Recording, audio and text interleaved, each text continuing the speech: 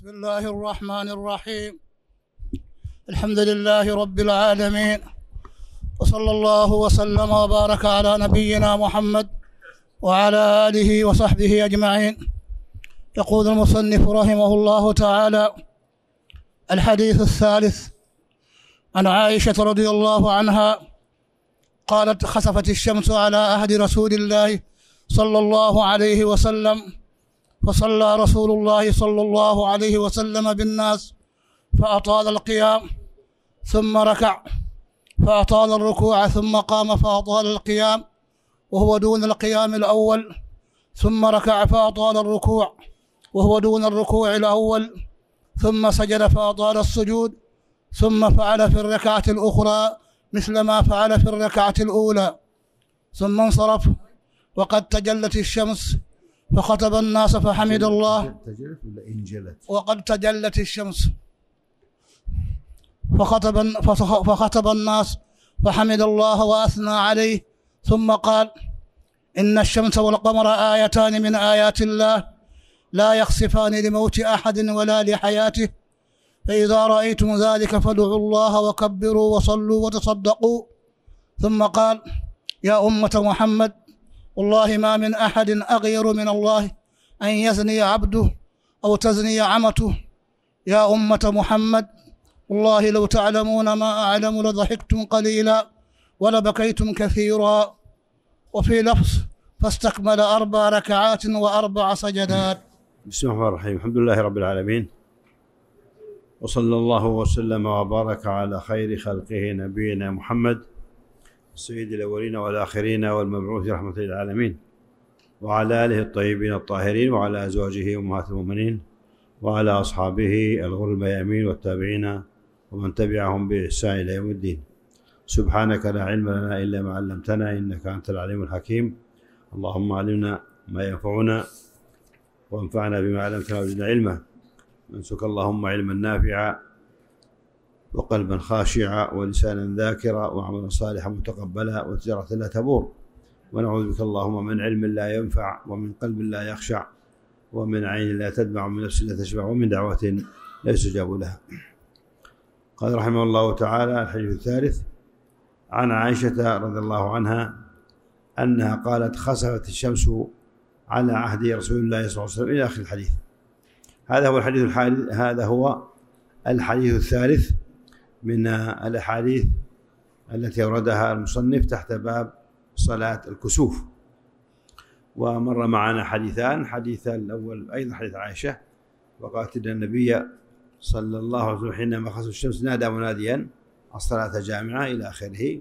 والحديث الثاني حديث أبي مسعود عقبة بن عامر الأنصاري في قوله صلى الله عليه وسلم إن الشمس والقمر إلى آخره.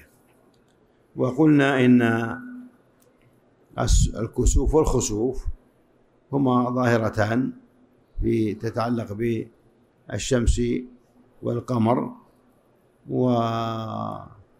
والكسوف والخسوف يطلق يعني على الكسوف على الشمس والخسوف على القمر ولا مانع أن يطلق أن يطلق الكسوف على القمر والخسوف على الشمس فالأمر في هذا اللغة تحتمله وإن كان الذي جاء من القرآن هو أن الخسوف القمر وخسف القمر. وعلى كل حال قلنا أيضا كذلك أن الكسوف معناه التغير أو حصول السواد ويقال كسف وجهه بمعنى أصاب وجهه سواد أو تلون وكأن به سوادا أو نحو ذلك. والخسوف هو النقص. الخسوف الخسف هو النقص. و قلنا إن صلاة الكسوف سوف يأتي في الحديث الاتي صفة صلاة الخسوف أو الكسوف إن شاء الله على تفصيل كما في الحديث الذي بين أيدينا. وقلنا إنه لم يحدث الكسوف في عهد النبي صلى الله عليه وسلم إلا مرة واحدة وهو كسوف الشمس. أما القرم القمر فلم يخسف في عهد النبي صلى الله عليه وسلم. و ومع هذا يعني جاءت روايات في صلاة الكسوف مع أنها هيئة واحدة يعني ولهذا آه، اشتد العلماء أو جد العلماء في محاولة يعني توجيه الروايات ولكن ليس لهم أمام ليس أمامهم إلا الترجيح لأنه ما ما حصل إلا مرة واحدة. والراجح هو الحديث الذي بين يدينا إن شاء الله لأنه هو هو الذي أصح رواية وأثبت وهو أنها أربع أربع آه، ركوعات في ركعتين على ما سوف يأتي تفصيله إن شاء الله. كذلك أيضا أشرنا أيضا في الجلسة الماضية إلى أن آه، المؤرخين وكتاب السير حينما كما في هذا أنها خسفت الشمس على عهد رسول الله صلى الله عليه وسلم وأن ذلك كان في السنة العاشرة. كان ذلك في السنة العاشرة من الهجرة. وقالوا إنه حدث في اليوم العاشر من ربيع الأول السنة العاشرة والرسول صلى الله عليه وسلم توفي في بعدها بسنة توفي في الربيع من السنة الحادية عشرة. وقالوا إن هذا اليوم هو الذي توفي, توفي, توفي فيه إبراهيم ابن النبي صلى الله عليه وسلم.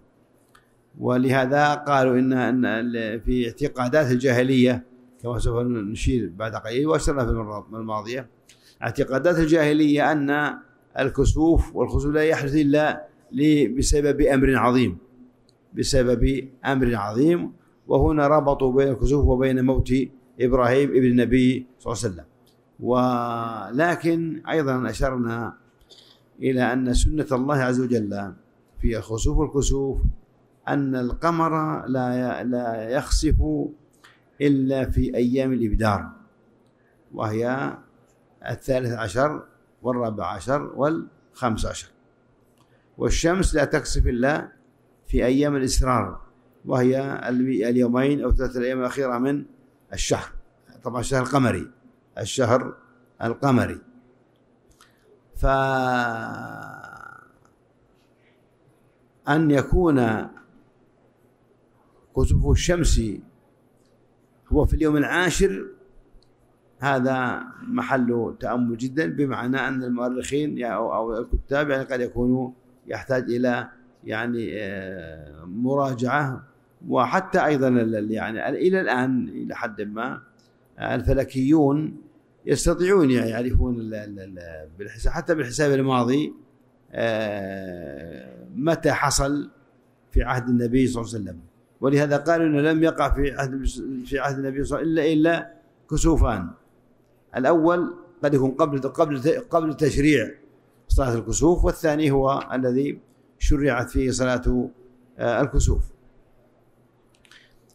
وذكرنا آه، القصة التي أيضا الوالد رحمه الله سماحة الوالد رحمه الله في كتابه في شرحه للروض المربع حينما قال الأصحاب من الحنابلة قالوا إن الخسوف يمكن أن يقع في أي يوم وأن الله على كل شيء قدير. الوالد رحمه الله يعني عنده يعني أولا ذكاء وعنده حافظة وعنده أيضا يعني قد لا يستسلم لكل ما يمر في التاريخ مما يحتاج إلى تأمل. قلنا لكم إنه ذكر ما هو يقرر للطلاب آه، يشرح هذا الموقع وهو موقع صلاة الكسوف من الروض المربع آه، في كتب الحنابلة شرح الزاد المستقنع آه، ذكر لهم قال إنه مر عليه وهو يقرأ في تاريخ ابن كثير البداية والنهاية أن ابن كثير رحمه الله ذكر في سنة الخمسمائة وعشرة وأحد عشر أن القمر خسف اليوم الرابع في اليوم الرابع. والبدر رحمه الله استبعد جدا. قال لعله خطأ ولعله الرابع عشر. ثم أيضا أراد أن يعتذر للشيخ ابن كثير رحمه الله العماد الدين ابن كثير. قال لعله لو لم يكن يعني نادرا وإلا لما سجله. بمعنى لو كان يوم عادي أو يوم الإبدار العادية ما سجلها. ومع هذا لو استبعد قال أنا أستبعد أن يكون في اليوم الرابع لأن سنة الله عز وجل وإن كان الله على كل شيء قدر ولا شك.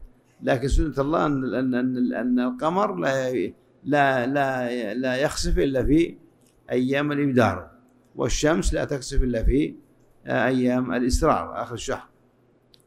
ثم نحن لما اشتغلنا في طبع كتاب الواد رحمه الله وتحريره طبعا كان في كان بأشرطة كان في أشرطة ففرغناه طبعا وحررناه كان فيه باحثين جزاهم الله خير كانوا جيدين. فلما رأوا هذا الموقع رجعوا للتاريخ فرجعوا لتاريخ ابن الأثير. الجزري ابن الأثير له تاريخ تاريخ ابن كثير وهو أيضا معاصر لابن آه، تقريبا أو كثير. ففي السنة نفسها الجزري قال في السنة الرابعة في اليوم الرابع عشر. وليس اليوم الرابع الرابع عشر. طبعا الوالد ما اطلع يعني لكن نحن لما اطلعنا دوناه وقلنا ان فيعني فيبدو قد يكون خطأ من نساخ. نساخ تاريخ ابن كثير يمكن كتبوا الرابع سقطت عشر. والولد والولد رحمه الله قال ذلك. قال لعل عشر سقطت. لعل عشر سقط يعني الرابع عشر. وبالفعل الجزري قال لا الرابع عشر. المقصود أن يعني قول المؤرخين إن إبراهيم آه، رضي الله عنه ابن النبي صلى الله عليه وسلم آه، توفي يوم العاشر وأن الكسوف الشمس يوم كان يوم العاشر هذا يعني يحتاج نظر. قد يكون توفي يوم العاشر لكن قد يكون الكسوف حصل بعده بأيام فربطوا بين هذا وهذا قد يكون. على كل حال وبإمكانكم أن تتأملوا أو تراجعوا في الموضوع. هذا كله ذكرناه في الجلسة الماضية. وذكرنا أيضا كذلك أنه في قوله ينادى الصلاة جامعة وأنها لها لها لها نداء. بينما العيدين مر معنا العيدان ليس لهما نداء. الاستسقاء ليس له نداء. طبعا الجمعة لا الأذان لكن صلاة العيدين وصلاة الاستسقاء كما سوف يأتي ليس لها نداء.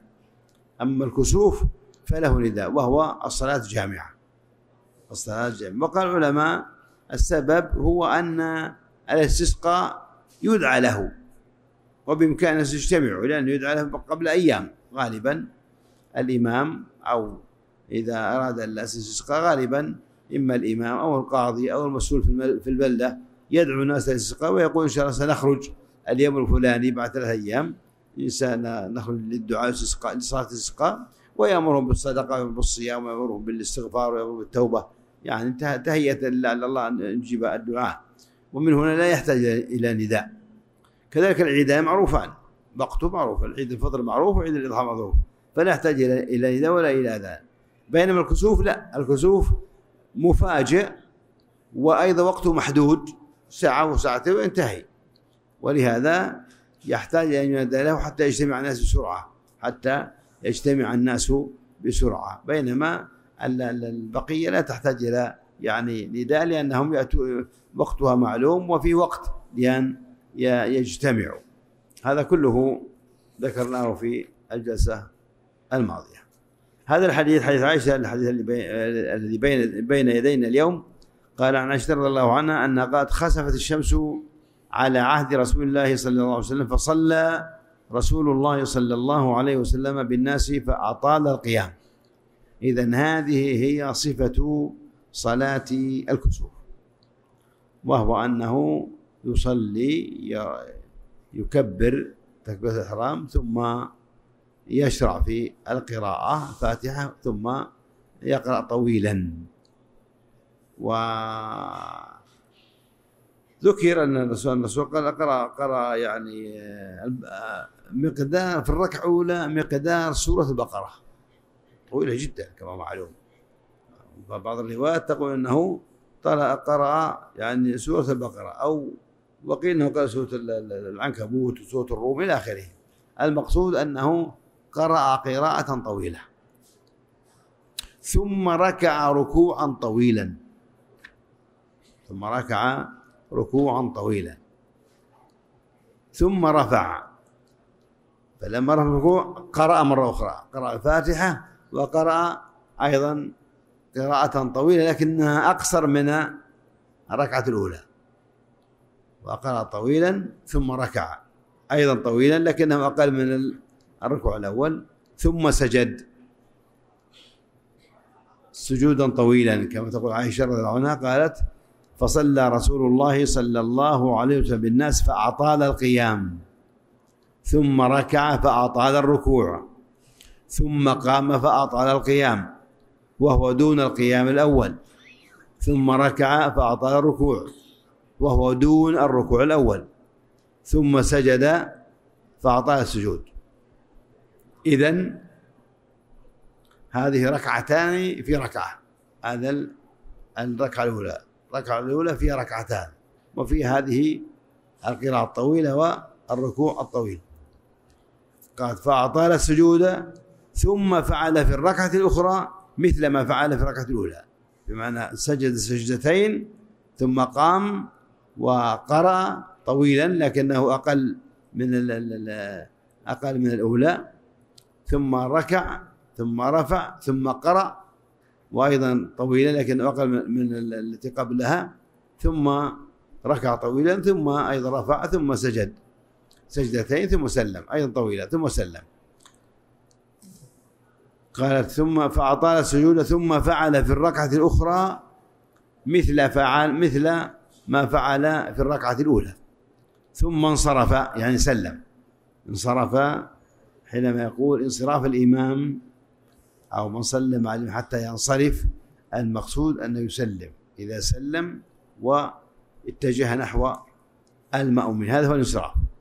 هذا هو الانصراف. بمعنى انصراف الإمام هو أنه يفرغ من الصلاة بالتسليم وغالبا آه، آه، يصرف وجهه نحو المأمومين. حتى قال العلماء أنه لا ينبغي للإمام بعد السلام أن يطيل آه، ووجهه نحو القبلة. لا ينبغي. لماذا؟ قالوا حتى ينصرف الناس. لماذا؟ لأنه أطال ولأن لأن لأن فضل يعني فضل انتظار اليوم حتى ينصرف يكون يكون للإنسان فضل صلاة كاملة. فقالوا ولهذا لا ينبغي لمن يطول. بعد ما يسلم لا ينبغي أن يطيل ووجهه نحو القبلة وإنما عليه بعد ما يسلم ويستغفر الله ثلاثا ويقول اللهم أنت السلام وسلم يتوجه نحو يصرف وجهه نحو المؤمنين بعدها من يريد أن ينصرف ينصرف. وهذا كله يدل على على على التنظيم ويدل على على على ما ينبغي من الجانبين. المأموم يراعي الإمام من حيث حسن الاقتداء به والتأدب معه وألا ينصرف قبل أن ينصرف. وأيضا الإمام ينبغي أن يراعي المأمومين بحيث أنه لا يثقل عليهم ويطيل وجهه نحو القبلة وإنما ينصرف.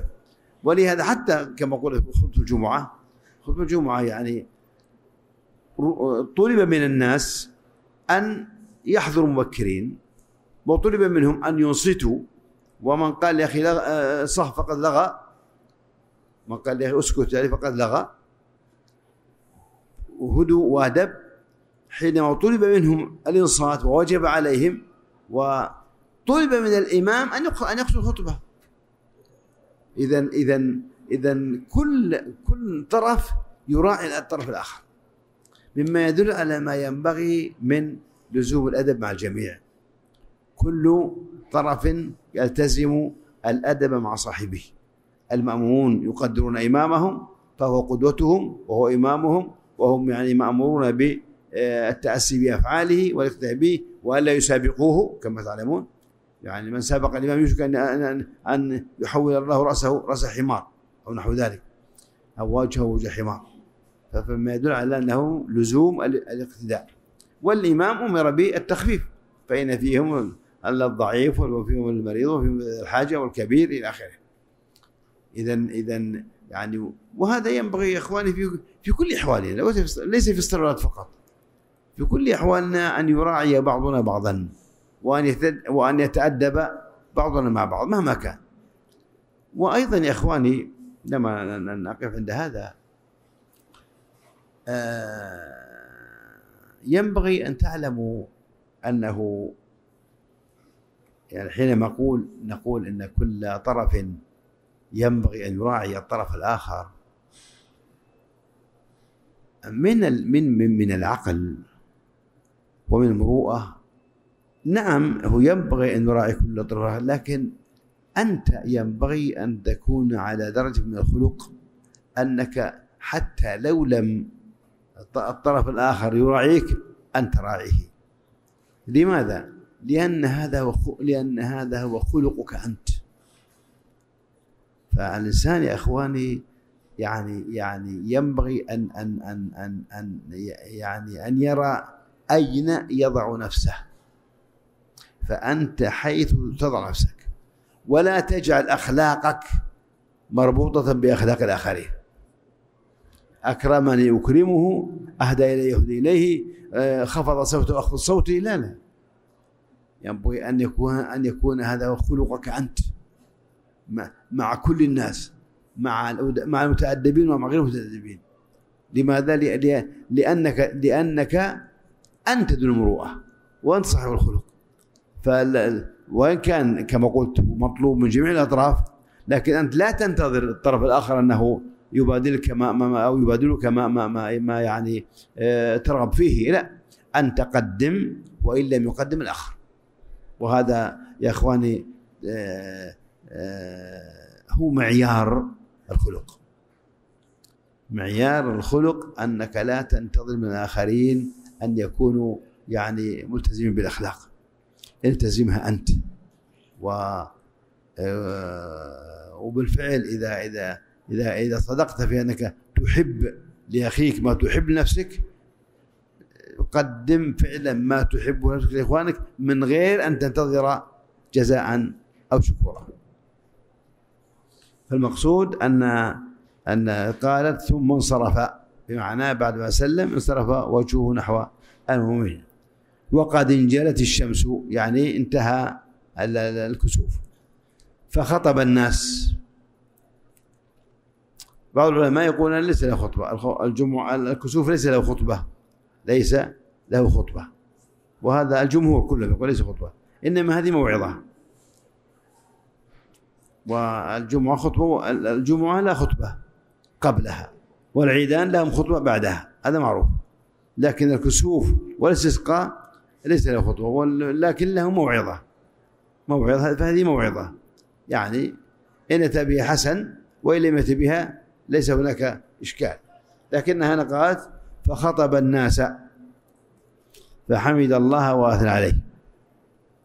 ثم قال إن الشمس والقمر آيتان من آيات الله لا يخسفان لموت أحد ولا لحياته. أيضا ذكرنا ولو نعيده مرة أخرى ذكرنا في الجلسة الماضية أن نعم أن الخسوف والكسوف آيتان من آيات الله. معناه أن وإن كانت تدرك بالحساب. وإن كانت تدرك بالحساب. فالفلكيون غالبا بحساباتهم يعرفون متى يحصل الكسوف ومتى, ومتى لا يحصل. ومثل هذه الأخبار التي يقولونها آه، كما قال هي كأخبار بني إسرائيل. بمعنى لا نصدق ولا نكذب لكن ما يبنى عليها شيء. يعني بمعنى قال مثلا يوم الاثنين القادم ولا الثلاثاء القادم انه سيكون كسوف للشمس لن لا نبادر بالصلاة إلا إذا حصل الكسوف بالفعل إذا حصل نصلي. لماذا؟ لأولا قد يصدقون وقد لا يصدقون. والأمر الثاني قد يقع الكسوف كما هو معلوم في بلد دون بلد لأن مواقع البلدان تختلف وموقع الأرض موقع القمر والقمر والشمس إلى آخره من الجزء الذي يظلل بإذن الله من هل هو في في بلادنا أو بلادكم أو بلادهم. هذا يختلف كما معلوم. ولهذا نعم هم يقولون في حساباتهم أن اليوم الفلاني ستكسف الشمس وسيخسف القمر لكن آه، لا نصدق ولا نكذب وإن كان كما قلنا هذا يدرك بالحساب. هذا يدرك بالحساب. وكون أنه يدرك بالحساب هذا لا ينفي أن يكون آية. ولا ينفي أن يكون يخوف الله بهم عباده. وإن كان وإن كان يتوقع حصولها.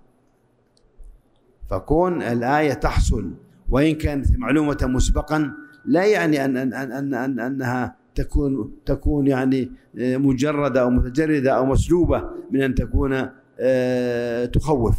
لا. ولهذا أنا أورد لكم كلام ابن دقيق كان كان كلاما جميلا يعني. آه، ولا ولا ولا مانع أن نعيده لجماله ولأيضا دقته لأن أحيانا خاصة في الوقت الحاضر يعني بعض المشككين يقولون هذه دورة فلكية يقع الأرض تقع بين القمر والشمس فيخسف القمر. القمر يقع بين الشمس والأرض فتكسف الشمس. وهذا صحيح. لكن لكن هل هذا يمنع أسباب يعني وجود كون نعرف السبب أو نعرف النتيجة؟ هل هذا يمنع أن يكون هذا أن يكون هذا يعني مخوف؟ اسمعوا كلام الشيخ رحمه الله. يقول وقد ذكر أصحاب الحساب الفلكيين يعني لكسوف الشمس والقمر أسبابا عادية. ذكروا أنه بمعنى أن الشمس تكون بين أن القمر يكون بين الأرض والشمس حينئذ تكسف الشمس. أو تأتي الأرض بين القمر والشمس فيخسف القمر. لأن الشمس لأن الأرض حالت بين ضياء الشمس يعني يصل إلى القمر. لأن بإذن الله القمر هو انعكاس أو كالمرآة الشمس آه، نورها يضف القمر ونحن نراه مضيئا. فإذا جاءت الشمس الأرض ووقعت بين الشمس والقمر يكسف آه، يخسف القمر. وإذا جاء القمر وحال بين الأرض والشمس صرنا لا نرى ضوء الشمس لأن القمر حال بيننا وبين ضوئها. إذا هذا دورة فلكية بإذن الله معلومة. والله عز وجل يعني جعل كل الأفلاك تدور بطريقة بسنة ثابتة. فالشيخ يقول وقد ذكر أصحاب الحساب لكسوف الشمس والقمر أسبابا عادية. اللي ذكرناها لكم ثم قال وهذا هو الجميل وربما يعتقد معتقد أن ذلك ينافي قوله عليه الصلاة والسلام يخوف الله بهم عباده. يقول ما دام شيء معروف الشمس وقعت بين القمر وقع بين الشمس يعني كسفت خسفت كسفت الشمس. الأرض وقعت بين القمر والشمس خسف القمر. هذا معروف. وين وين التخويف؟ هذا هذا هذا هذا هذا الذي يقرره الشيخ رحمه الله. يقول آه، وربما يعتقد معتقد أن ذلك ينافي قوله عليه الصلاة والسلام يخوف الله بهما عباده. فقال قال وهذا الاعتقاد فاسد. لأن الله تعالى لأن لله تعالى أفعالا على حسب الأسباب العادية وأفعالا خارجة. يعني حتى ولو كانت يعني حسب الأفعال لا لا لا ينفي أن تكون مما يخوف الله به. وأفعال خارجة. فإن قدرته تعالى حاكمة. على كل سبب ومسبب. فيقتطع ما شاء سبحانه وتعالى من الأسباب والمسببات بعضها عن بعض فإذا كان ذلك كذلك فأصحاب فأصحاب المراقبة لله يعني أصحاب الإيمان الحي والقلب الحي الذين يؤمنون بالله ويؤمنون بقدرته و يعني تعلقهم تعلق المجرد وصادق وصافي بالله عز وجل هم الذين فعلا يدركوا يعني يسلمون لمقولة نبينا محمد صلى الله صلى الله عليه وسلم. قال فأصحاب المراقبة لله تعالى ولأفعاله الذين عقدوا أبصار قلوبهم بوحدانيته وعموم قدرته على خرق العادة واقتطاع المسببات عن أسبابها إذا وقع شيء غريب حدث عندهم الخوف لقوة اعتقادهم في فعل الله عز وجل. وهذا هو صحيح. بمعنى أننا أي حدث يحدث و... وإن كان وإن كنا نعرف سببه لكن يوم خوف. حتى حتى أنتم تلاحظون يعني في في في فيما بيننا الأمراض حينما حينما يمرض عزيز لديك ويفجأ بمرض فاجئ. فشل كلوي كبد رئة قلب جلطة بخوف خوف جدا. ما ما ما, الذي يحفظ ما الذي يعني يحميك؟ حصل يا أخي يحصل لك. فحصول الشيء ووجود سببه لا يعني لا يمنع أن يكون آية ولا يمنع أن يكون عبرة. ان نعتبر يعني نعتبر بأي شيء يحدث بقدر ما يكون في قلوبنا من الإيمان ومن الحياة ومن التعلق بالصادق التعلق بالله عز وجل نتأثر ونسترجع ونبادر بالاستغفار وبالتوبة وبالصدقة وبالإحسان وبالإنابة وبالإكثار من من أفعال الخير. لأننا نؤمن إيمانا يعني يقينيا بربنا عز وجل بحكمته وقدرته وآياته سبحانه وتعالى.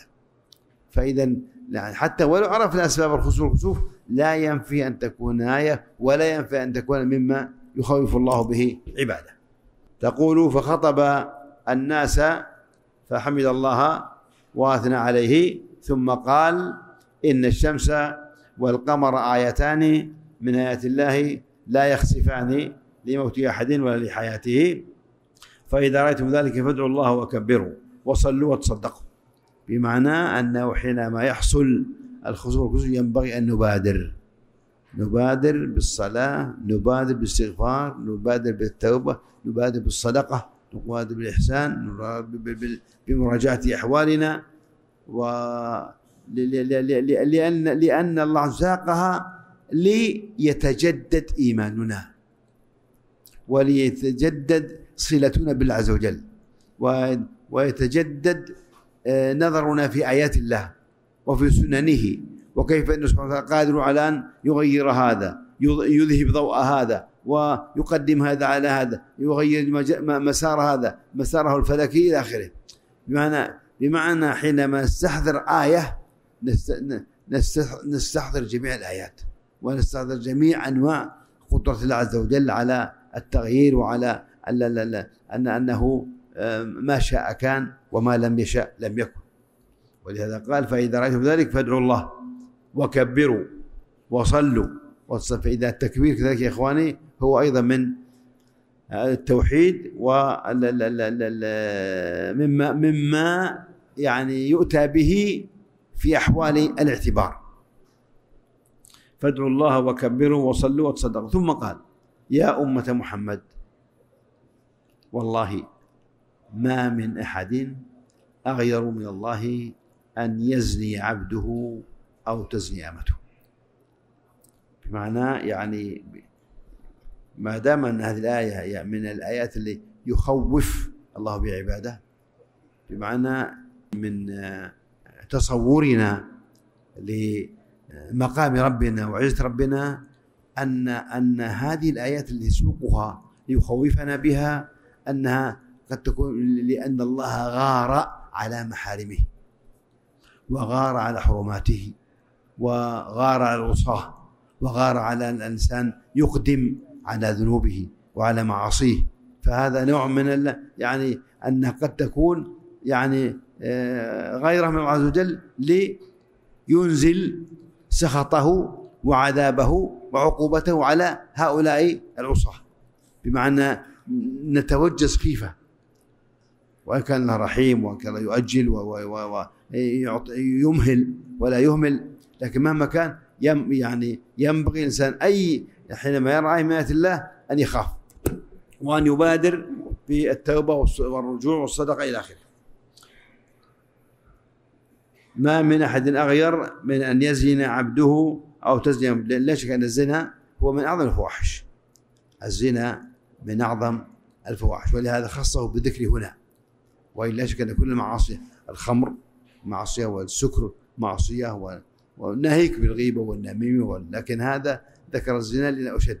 وانه غالبا يكون فيه خفه يكون فيه أشياء يعني فخصه بالذكر وبعضهم أيضا ذكر أنه لأن غالبا الإنسان إذا زنى حتى قال تنكت في قلبه نكتة سوداء كما أن الكسوف يكون سواد وإلى آخره. فإذا تاب تاب الله عليه وإلا تراكمت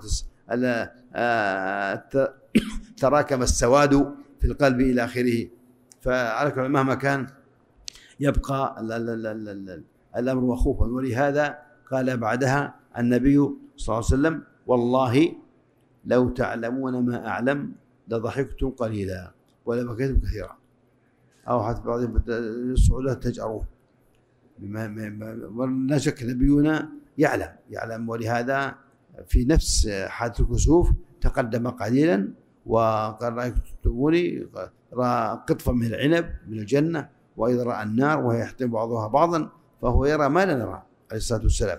ولهذا قال لو تعلمون ما أعلم لضحكتم قليلا ولكم كثيرا فهو أيضا هو يبلغنا وينصحنا ويحذرنا ويعظنا عليه الصلاة والسلام. والله لو تعلم ما لضحكتم قليلا ولبكيتم كثيرا. وفي لفظ فاستكمل أربع ركعات وأربع بمعنى في هيئة صلاة الاستسقاء. نعم. الحديث الرابع عن أبي موسى الأشعري رضي الله عنه قال خسفت الشمس على زمان رسول الله صلى الله عليه وسلم فقام فزعا يخشى أن تكون الساعة حتى أتى المسجد فقام يصلي بأطول قيام وركوع وسجود ما رأيته يفعله في صلاته قط. ثم قال إن هذه الآيات التي يرسلها الله عز وجل لا تكون لموت أحد ولا لحياته ولكن الله يرسلها يخوف بها عباده. فإذا رأيتم منها شيئا فافزعوا إلى ذكر الله ودعائه واستغفاره. هذا الحديث أيضا الرابع يدل على ما دل عليه الحديث قبله من آه صلاة الكسوف وفي طولها وكذلك في التخويف وأنها من آيات الله عز وجل وأنه يرسلها لا, لا لموت أحد ولا لحياته ولكن يخيف بها عباده. وقال فقام فزعا يخشى أن تكون الساعة. بمعنى وإن كان الساعة لها علامات يعني الساعة لكن بمعنى يخشى أن تكون من علامات الساعة. وإلا الساعة ذكر علاماتها أنها بقي علامات الدجال وإلى آخره كما معلوم. لكن العلماء قالوا لا مقصوده يخشى أن تكون من علامات الساعة أو من ما يقارب آه، وقوع الساعة. ولهذا يقول أنا بعثت أنا بعثت والساعة كهاتين. ما يدل أن على قرب حصولها. ف فزعا يخشى أن تكون الساعة. حتى أتى المسجد. هذا يدل على أن صلاة الكسوف والخسوف تقع في المسجد. بينما قلنا في العيدين والاستسقاء يكون في المصلى. سيأتي مع الاستسقاء إن شاء الله. لكنها صلاة العيدين والاستسقاء تكون في المصلى يعني في الصحراء تصلى في الصحراء بينما الجمعة والكسوف في المسجد. طبعا في المسجد في الكسوف قالوا يعني وين كان بعضهم قال بعض العلماء قال أنها تصلى في في في المصلى لكن قالوا صعب لأن لأن المصلى يحتاج نداء ويحتاج أن يبرزوا ويذهبوا ويتجمعوا وقد وقد وقد ينجلي الكسوف قبل أن يجتمعوا. لكن المسجد معروف مباشرة. ولهذا وهذا صحيح أن تصلى في المسجد. ف وأيضا هي جهرية كما قلنا. هي جهرية سواء كان خسوف قمر أو كسوف شمس وبعضهم قال لا إن إذا كانت في الليل جهرية وإذا كان في أنها سرية. وقال بعضهم انها سريه في الجميع والصحيح أنها لا جهرية في الجميع. وأيضا الكسوف يصلى جماعة وأفرادا. تصلى جماعة وأفرادا. وهي كما قلنا على الجمهور أنها سنة ليست واجبة. فلو أنك في البرية أو أنك وحدك وخسفت الشمس أو خسف القمر وخسفت الشمس فإنك تصلي. أنت تصلي ولو ولو كنت منفردا. ولو كنت منفردا تصلي صلاة الكسوف ولو كنت كنت فتصلى فرادى وتصلى جمعة والله أعلم وصلى الله على محمد وآله وصحبه وسلم.